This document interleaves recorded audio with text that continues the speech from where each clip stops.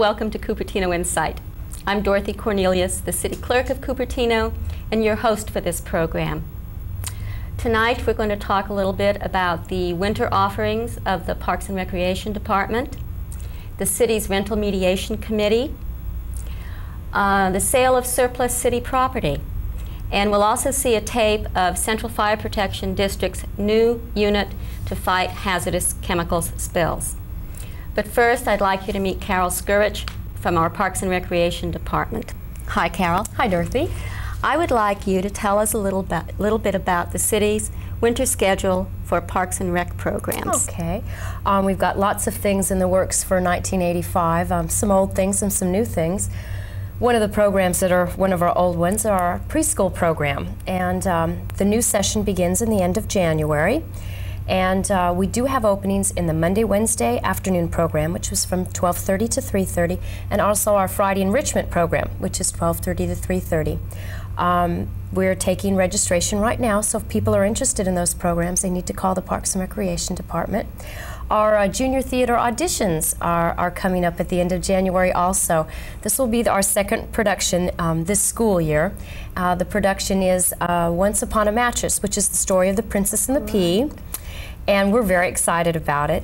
Um, children that are 8 to 18 years old are encouraged to come to auditions. They'll be Monday and Tuesday, January 28th and 29th. Um, we encourage any children that are all interested um, in theater to come down and try out.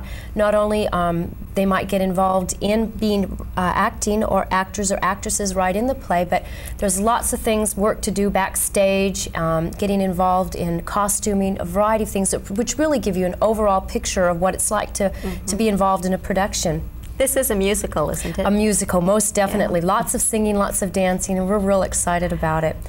Um, we're also, again, offering lots and lots of specialist classes um, for adults and for youth. And in the area of adults, we've got um, our always popular exercise classes. Um, they're one of our most popular um, programs for adults. Especially after the holidays. Definitely. You know, really winter is yeah. the most popular time for our uh, exercise classes.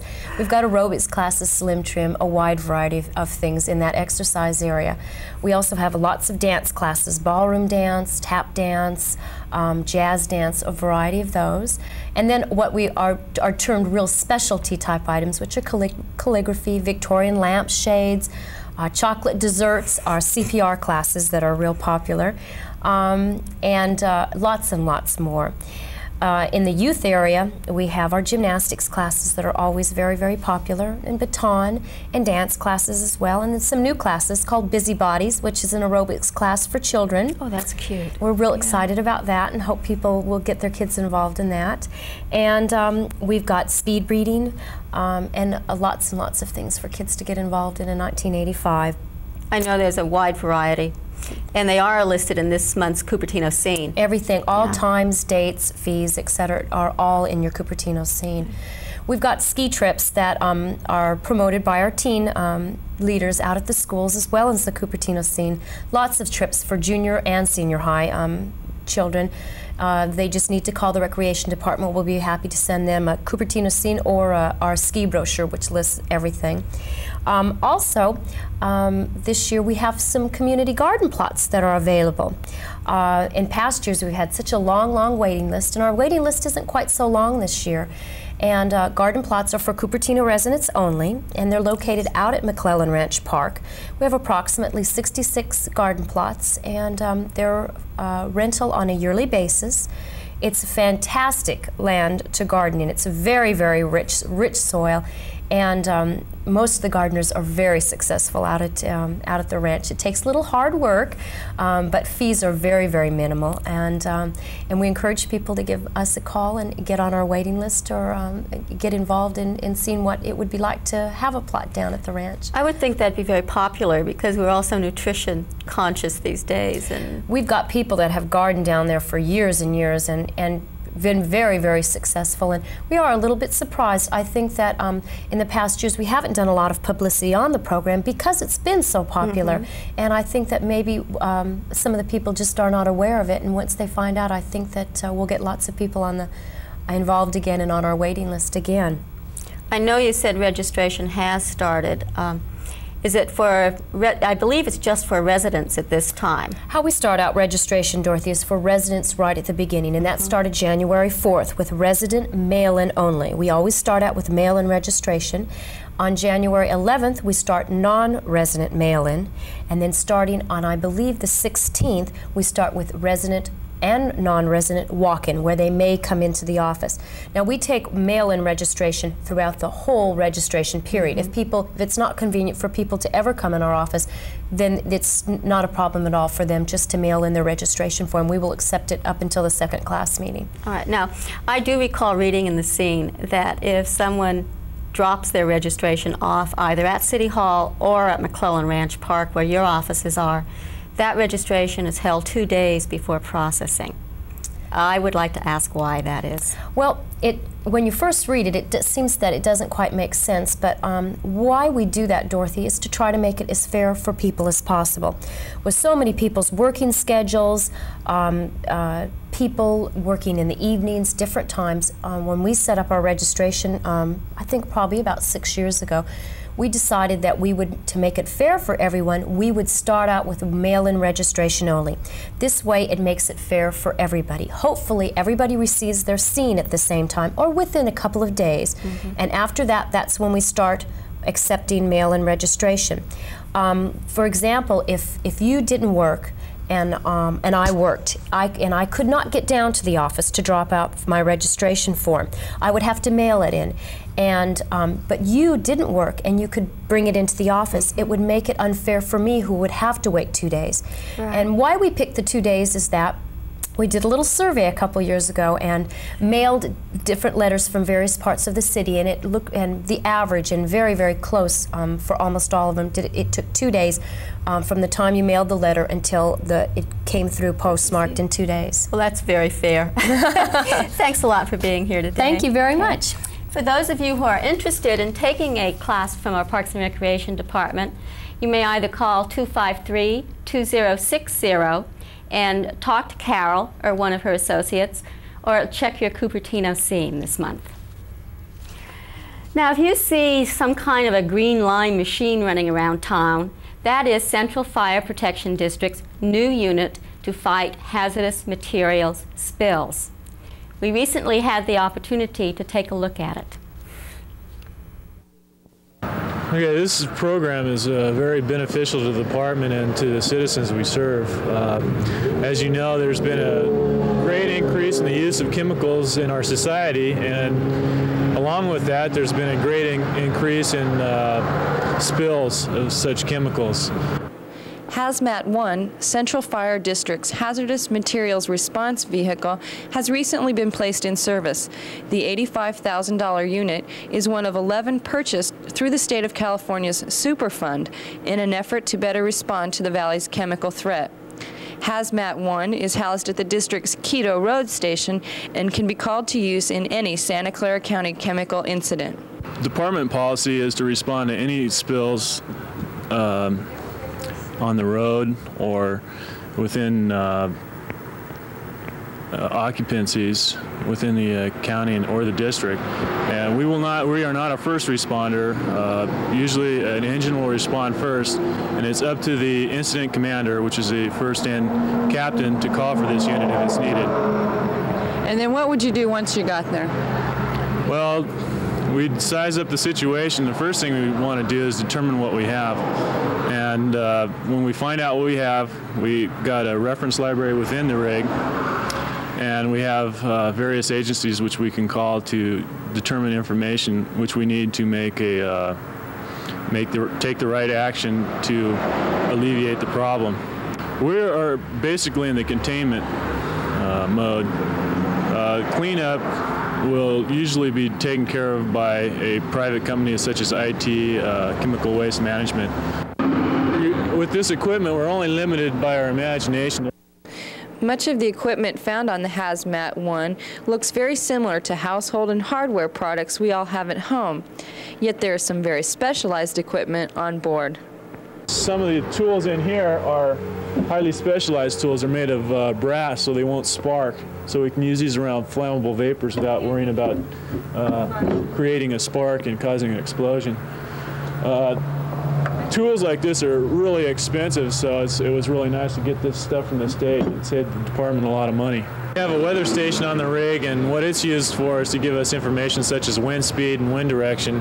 This is very important information when dealing with a uh, incident, as we want to approach the incident from upwind, and also it's important when we are determining uh, radiuses for evacuation. In addition, Hazmat 1 carries two types of protective clothing for firefighters to wear, depending upon the seriousness of the incident. We've got two examples here. And what these are used for is um, incidents involving highly toxic vapors or gases. And we're talking about the type of gases and vapors that uh, pose a health hazard through skin absorption or just contact with the skin. These suits are very difficult to work in and take approximately five to ten minutes just to put them on. Uh, when, when we're working in the suits, we have a limited limited uh, air. It, we probably have about 20 minutes worth of air, so uh, what we have to do, we have to send one mission in there just to kind of go in and see what we have, and then send another crew in to maybe take care of the problem or start to take care of the problem. It might take three or four entries in these suits to take care of the uh, problem that we have. Uh, another problem with these suits is communication. It's very hard to talk between these firefighters because they can't hear. They've got a Scott air mask on and a face shield, and there's usually a lot of noise at the incident, so it's really hard to communicate. Um, we'll be using these are we'll be using these only in the uh, incidents where we need the highest degree of protection. I think we're about as prepared as we can be at this time. That's not to say that uh, equipment and the ongoing education won't continue to uh, be revised and improved uh, as, as industries come into the area and as we become more aware of what's in the area. Uh, the equipment will be changing, I'm sure, as well as the ongoing education. We went through extensive training, approximately 180 hours of training, and it's uh, for a lot of us uh, that didn't have a chemi chemistry background, it was pretty tough. You know, went through about 40 hours of uh, chemistry, and uh, then we went through 80 hours of a class that was given by the National Fire Academy, which was basically hands-on um, how how to uh, use the equipment that we were issued with this rig. Um, how to clean up spills and how to contain contain spills. Uh, it was very extensive training. I feel that our department is as well prepared as any department in the state right now for hazardous materials. It's nice to know the machine is there with a fully trained crew ready for action, but let's hope we never have to use it. With me now to talk about the city's rental mediation committee are Sharon Blaine and Terry Brown. Terry, could you please give us a little bit of background about how and why this committee was formed? Sure. Uh, some several months ago, the Cupertino City Council appointed a rental housing committee of some 13 members whose job it was to come up with some recommendations to the council relative to improving the rental housing situation in the city. One of the recommendations that we came up with after several months of work was that a mediation program be set up and that uh, that program be designed by a subsequent committee, which would be smaller and uh, somewhat easier to work with to work out details. And that's how we came about. All right. And exactly what kind of issues are you addressing and what's your purpose? Okay, what we're looking at are um, the actual working out or setting up of the program for mediation and uh, how it would be set up, who would be doing mediation, what would they be doing, and uh, working through all that type of information. I see. Um, I assume these people are going to be trained. You're not just oh, going to pick yes. people off the street and say, "Here, we have a problem we, between a renter and a landlord. Uh, solve it." Yes. Well, what we first had to do was decide what would be subject to mediation, and we had to decide who would take care of these things. And there are various services which um, provide these, or companies that provide these services to cities.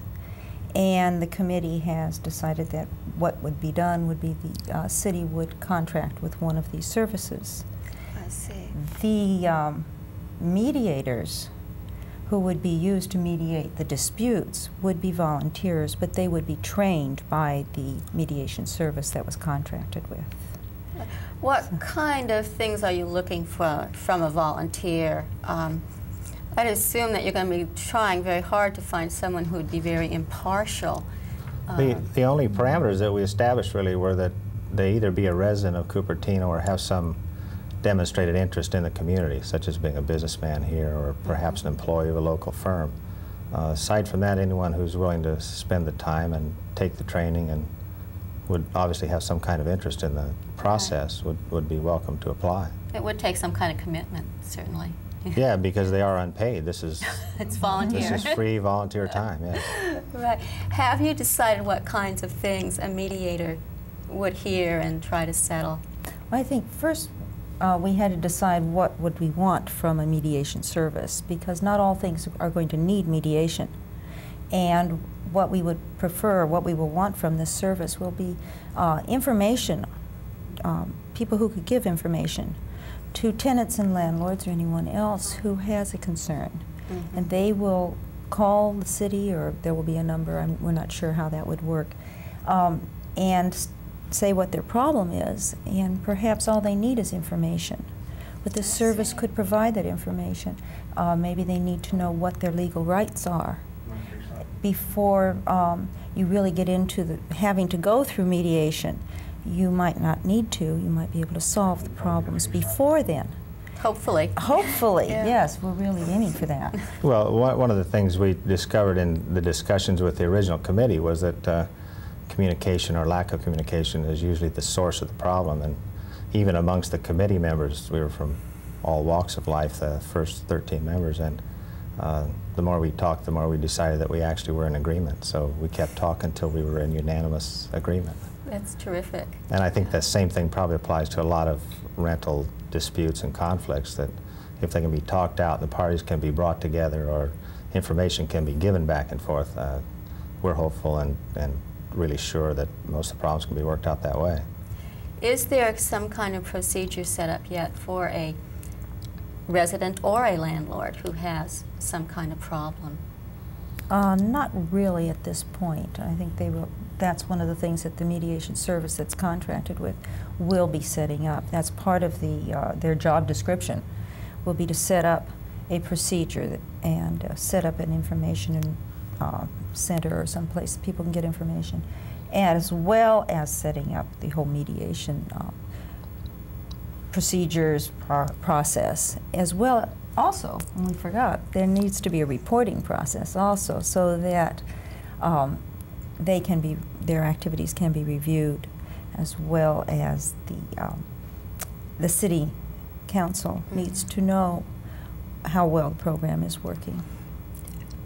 Suppose the person receives information and unfortunately the issue is still not resolved.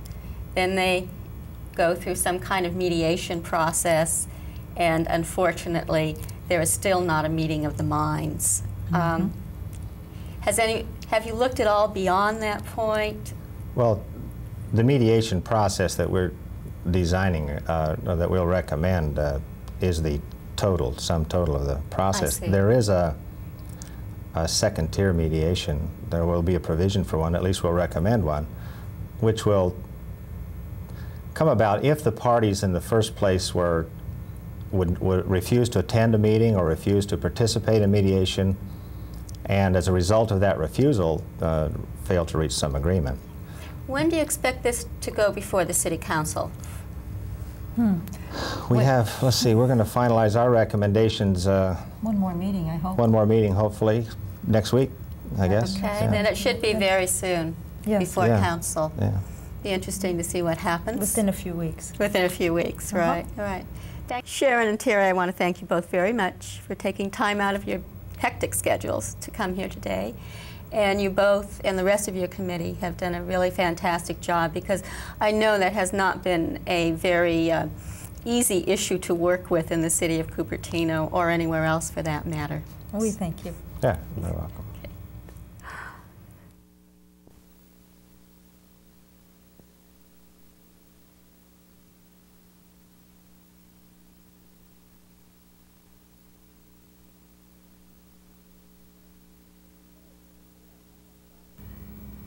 The city of Cupertino has some property for sale. And here to talk with me about it is Bert Viskovich, the city's Director of Public Works. Bert, why is this property for sale and where is it located? Okay. Uh, they are surplus properties that the city no longer has any need for public use. Uh, their residential lots are located at, off of Stelling Road, Shadow Hill by Three Oaks Park, and then the other property is in Monte Vista on a corner of Pasadena and Orange. I believe that's the old uh, Cupertino util water utility building. And uh, KKUP occupied That's that for a few months. Yeah, I remember A few years, that. really. A few years, yes, actually. okay. Um, starting with the lots located near the Three Oaks Park, could you tell us uh, the approximate size of the lots? How many are for sale? Okay, there are seven of them, and they're all uh, minimum 6,000 square foot lots, which is the zoning in that area. Uh, they are located adjacent to the park, as I mentioned earlier. All the improvements are in, all the utilities are in, so anyone that purchases these lots are able to obtain a building permit and actually start construction. Uh, they are, uh, uh, there's about two of them, I think they're larger than 6,000 square feet, but they're minimum 6,000. Now, what's the land use in that area? It's residential and single-family uh, homes, and adjacent to these lots are, are the same type. They're all detached. Now, it's my understanding that there is a restriction in that area The- to single-story homes. The city imposed a single-story restriction, that's correct, because the residents in that area wish that the homes stay with the same type and that the, some of the views of the hills uh, remain, as you can see on the, on the slides. I see. So regardless, once, once the lots are purchased, even if they're sold again, that single-story restriction stays with the lot. That's correct. All right. Now, could you tell us about, a little bit about the procedure for the sale? I understand it will be a bidding procedure, and there Yes. is a minimum bid that is acceptable. Yeah, it's an interesting procedure, and, and it, uh, there will be a minimum of $80,000 for the first lot that's uh, bid on, and uh, there won't be a bid on a particular lot, but it'll just be the first bid. The highest bidder, both through the oral bid and the written bid, and by the way, it starts off with a written bid first, and if there is a oral bid subsequent to that, that's 5,000 or greater, then we go into an oral bid. The highest bidder then will will get a uh, choice of their lot and be able then to, uh, once we get established that price for that first lot, the second lot that goes out on the auction will then have the minimum bid being the, the previous sale. So what happens that it really encourages people to purchase that first lot for two reasons. One, it kind of establishes or guarantees that the, the, it will be the lowest price. Right. And number two, it gives them the choice of the lot that they wish. That's right. They would get the They would get their their, first choice. That's right. right. Okay. Now, where is the bidding going to be? Bidding will be at the City Hall, and it will be at the same time as the council meeting is taking place at 7:30 in our conference room. And so after each bid, we will have to get approval by the City Council during their meeting before we proceed to the next lot. All right. That's the February 19th. February council meeting. 19th meeting, that's Right. correct. Right, now, tell me a little bit about the building on Pasadena Avenue. The actual the building itself probably won't be used after the lot is sold. I think the main, uh, highest and best use of that property will be to uh, combine it with other properties in the area and actually develop it to the Monte Vista plan of an office type complex All or right, so that's commercial. zoned. It can be. It, it is a planned unit development uh, for office intent with commercial also, and that is part of the, like I mentioned, the Monte Vista plan. And I don't think that lot singly will be able to develop. It will probably be combined with other lots in that area. I see. What's the minimum bid on that lot? That one's $95,000. And all these, by the way, are cash. And so it would uh, uh, behoove the individuals that want to bid to get their financing and get some of the uh, paperwork out of the way before they do come out to bid. And at the time of the bid, the actual, uh, there will be a bid bond of $5,000 for each purchase and 10000 for any bid bonds for an oral uh, bid. So uh, those bonds will have to be submitted prior to the Right. bidding. Now, I did read the resolutions of intent, and unless I'm wrong, it says a cashier's or certified check in those amounts. Right, All right. right. But would a bid bonds be acceptable also? Uh, That, that, that, we'd have to check in the Okay. bidding document. I think it's a $5,000 amount in whatever form it Right. is that, uh, that's, that's required in that bid document is what they'll have to deposit. All right. Now, they also submit the sealed written bids, and then it's open to oral bidding That's right. that. And it'll, it- there'll be a 5,000, uh, uh, uh, it'll require a minimum of 5,000 higher bid than the uh, uh, sealed bid in order to go to the oral bid. All right. Thank you very much for You're being here welcome. today, Bert. I appreciate it. If any of you are interested in getting more information about these lots and the process to purchase one, please call the Dir- Director of Public Works, Bert, at City Hall, 252-4505. Now I'd like to tell you a little bit about a couple of openings that we have on some advisory commissions at the City of Cupertino. We currently have one opening on our Cable TV Advisory Committee for a term which will end in September of 1987. This particular committee more or less um, oversees the local programming on Channel 3 and also makes recommendations to council on other cable matters. We have two openings on an ad hoc committee that's looking into the possibility of a recycling program for the city of Cupertino.